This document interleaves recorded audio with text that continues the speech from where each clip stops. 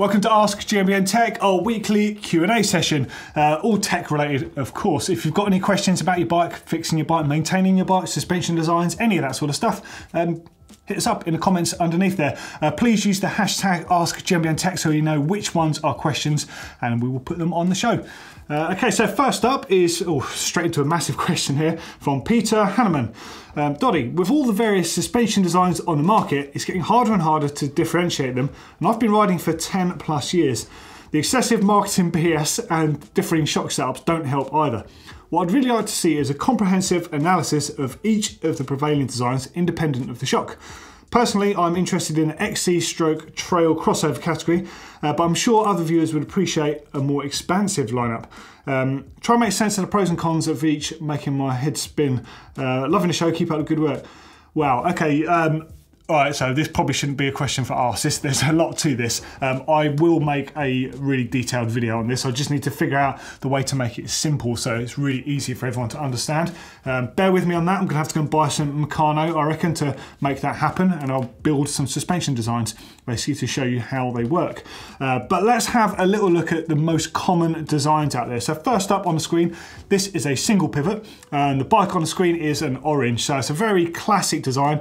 And what you can see is there's a single main pivot on the frame and where the wheel axle is at the back and you've got the shock. Nice and simple. So it's a very simple design. Um, obviously it's got one main pivot. The pros of that are it's very easy to service, very easy to change those bearings and it can be a very light design.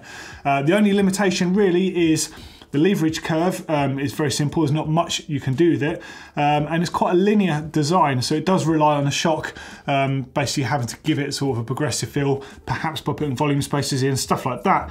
Um, that's not necessarily a bad thing though, because you're going to use all that travel and single pivot bikes are very simple, can be very light as well.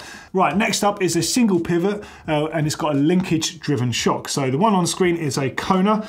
Um, there's lots of different models, but they all use the same sort of suspension platform. I think this one's a Process 134. Uh, we put this one on the tech show a few weeks back. It's one of their latest bikes. Now it still has the same main pivot and still has the axle at the back, so it's still nothing's changing there. It still works the same way as a classic single pivot like the Orange. The difference here is it's got a linkage to manipulate how the shock action feels and how that rear suspension action feels. So there's a lot that can be done with a linkage activated single pivot. Okay, next one is the four bar. So the example on the screen here is a classic Specialized Stumpy. Uh, this is the Evo model, I think. So the classic design here is the difference between the four bar, which we saw with the Kona. Look where the pivot point is on the chainstay as opposed to on the seat stay. Now this really does change things dramatically. So the first thing it changes is the fact that um, braking has little or no effect on the rear suspension um, in use. So that is the major selling point of that. Now that pivot used to be known as the Horst link after Horst Leitner, who designed that pivot point on one of the early AMP research bikes. And he actually designed that link for Specialized to use on their bikes and Specialized later licensed it and they called it the FSR link. Um, although in the industry, everyone still knows it as the Horst link. Uh, this is the most common design ever used. It's still used today by Specialized, it's used by Cube, it's used by loads of different brands. Uh, and when the orientation of all those pivot points are done exactly right, it can be the best suspension platform out there. It's really good, really simple, really effective. Um, okay, so next up is a short link 4-bar design. Now there's loads of different options on the market. There's the Santa Cruz, there's Giant, there's Ibis. In fact, if we use Santa Cruz and Ibis as, as two examples, um, so these are essentially 4-bar designs because you've just basically moved the pivot way closer to the bottom bracket instead of having it at the end of the chainstay there. But the fundamental difference between them are you get links that move in the same direction, like the Ibis, so that's a DW link, and they move the same way. And on Santa Cruz, they move in opposite ways. So they have two totally different effects. Now, the DW link uh, tends to I'd say it rides a little bit more like a single pivot. It's got quite a high anti-squat. So they're, they're famed for climbing really well. You pedal them and they want to stand up a bit. So suspension is still quite active on these on this design. The VPP style design that Santa Cruz uses is a little bit different. They can basically manipulate the point of where they want their anti-squat to sort of kick in. So it's a little bit lower in the travel and it kind of holds itself there in the travel because the pivot point actually moves um, your axle path essentially moves through the travel. Uh, really quite a cool system, but rides totally differently, despite the fact at a glance short link bikes do look quite similar. Um, it's quite advanced stuff, but actually quite simple when we break it all down. So I promise I will make that video. I'll put my, uh, my best science jacket and glasses on and we'll try and make it nice and simple to explain all of the traits and what sort of riders they suit. Um, hopefully my ramblings have been kind of helpful. Um, hopefully they make sense. All right, a nice short question from Elias Sandal. Can I use WD-40 on my Maxle as lubricant? Um, yes, but um, don't treat WD-40 as a lubricant, a sole lubricant. It's a solvent and it has got lubricant in it. Um, so you can't use it as a lubricant all the time, but it has got lubricating properties.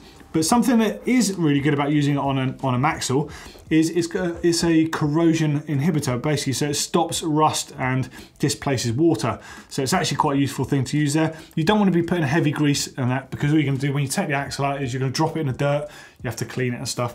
So um, yeah, I think it's absolutely fine. You can use any light lube on there. You don't want to put too much on there, you don't want stuff to stick to it. Um, but yeah, it would do, do the job, so um, why not? Okay, next up's a brake rotor related question. Um, hey Doddy and Henry, I've recently purchased a set of Zon rotors for my bike. They're pretty aggressive and they have large holes for, I presume, cooling. When I installed them though, the front made a very defined clicking noise every time the pads went over a hole in the disc. I've since taken them off for the sake of the bike. How can I fix it? I should add that I tried spacing them lower and higher and even changing the angle to no avail. Um, I've had a little look at these online. I've not actually seen them in the flesh, and you're right, the holes do look extremely big. Um, there is a chance that your particular brakes, um, you've not mentioned your brakes, uh, the brake pads are almost too small for the size holes in which they're, basically they're catching an edge, um, in which case I wouldn't use them um, if that is the case. It's kind of hard to say what's going on without seeing them. I have heard this before from other riders though that have had that clicking sensation. If there's any chance of a brake accidentally locking up on that, I wouldn't, I wouldn't use it. I'd just get another set of rotors. Um, those rotors will be absolutely fine to use provided your brake pads are long enough. So they might be more orientated being aggressive brake pads for longer um, rotors for longer brake pads. Um, so just check that out. Just check the size of the brake pad and how it correlates to those holes. Um, yeah, and well, use your common sense. They're brakes. If you don't feel safe with them, don't use them. Okay, next up is also brake pad related. So this is from Le Type. Um, how is the compound of brake pads actually attached to the carrier plate? Um, whatever stuff stroke processor use must create a hell of a bond to withstand the forces applied and not shear off. Um, yeah, you're absolutely right. Um, so I didn't know that much about this. I kind of knew a rough principle. So I actually spoke to Fibrax about this to get you the proper information. So Fibrax are a British company and they make brake pads in-house and they test everyone else's brake pads to try and make theirs the best. They're really, really, can't recommend them enough to be honest. Um, so I spoke to Ellis out there and this is directly from him. So he says, so the compound can be attached in a few different ways. The majority of brands manufacture the brake pad material in a sheet, and then the cookie cutter the sheet and then glue it onto the backing plate. Um, although it's quick to say, something to note, this is not normal glue, it's an industrial adhesive, the same sort of stuff that aircraft builders use to glue parts onto their planes. Um, after this, they're baked, sprayed, and then packed ready for use. Fibrax, however, manufacture their pads in a different way. Um, using the different powdered ingredients, including powdered adhesive, it's mixed up for the specific brake type, compression molded into what we call a biscuit. The biscuit is then glued in place on the backing plate. It's compressed again with added heat, which melts and squeezes the material stroke glue through the biscuit and through the holes in the backing plate. This gives both a mechanical and chemical bond of the biscuit to that backing plate. Uh, we then paint, grind, pack and sell those pads. Um, and this is them on screen. So there you go. Uh, of course it has to be industrially strong given the fact it's a safety item and having read what Ellis has just told me, I think Fibrax sound like a really good option. Okay, Robbie White. Uh, hey Donny, why have my forks travel decreased over time? When I push the lower legs back out, it goes to full amount, but if I put any weight on it, it will not return completely. Is it because I'm a very light rider, or is it a result of something to do with my lockout? Uh, thanks. Um, okay, so I don't think it's lockout. It just sounds like I need a little bit of TLC, bit of service. Uh, the classic thing that happens over time is the negative spring stops working effectively on there. So negative spring is effectively what props them up. Um, so sometimes the air won't swap properly between the positive and negative. That can be dirt in there. It can be grease blocking the port on the inside. Or if you've got an older one, uh, they might be a coil negative spring, but usually it's an air negative spring these days. Um, and sometimes oil can get into that negative chamber, which has the same effect. It will creep down slightly. Um, so they just need a little bit of TLC, a little bit of fork loving. Um, we're going to be doing a real-time fork lower leg service soon, uh, and we're also going to show you how to increase the travel on your forks as well. So that's a little video that will help you with that. And the last one this week is from JS. Guys, loving the show. Talking about chainring sizes. Now, if I'm spinning a 32 tooth chainring and I want to try an oval ring, do I put a 32 or stick to a larger or a smaller ring? Thanks. Uh, well, if a 32 works for you, and you want to try oval, stick with 32. Something you need to factor in though with oval chainrings is a 32 tooth chainring will effectively have on the larger part of that will be the same size as 34. Um, so just take that into account that you've got enough clearance on your bike. Um, I recently fitted a 32 to my Nukeproof Mega. Uh, I would like to go for a 34 but I'm not sure I'd actually get one on there. So you can see it's obviously bigger on one axis to the other um, and that's what I mean by how close it's going to be uh, to your chainstay. So just take that into account but just go like for like. Uh, there we go, there's another weekly Ask GMBN Tech in the bag. Any questions, as always, you know the drill, ask them in those comments underneath. Uh, use the hashtag AskGMBNTech. Uh, for a couple more videos, click down here if you want to see the Tom Wheeler Pro bike. I suggest you watch that. That's a really, really quite a different bike. And click down here for home security advice. This is everything from CCTV to ground anchors uh, to getting a pit bull terrier. Anything like that that will help you keep your bike safe. As always, don't forget to click, share, subscribe, give us a thumbs up and click that notification bell and it will tell you on your device every time we put a new video up. Cheers guys.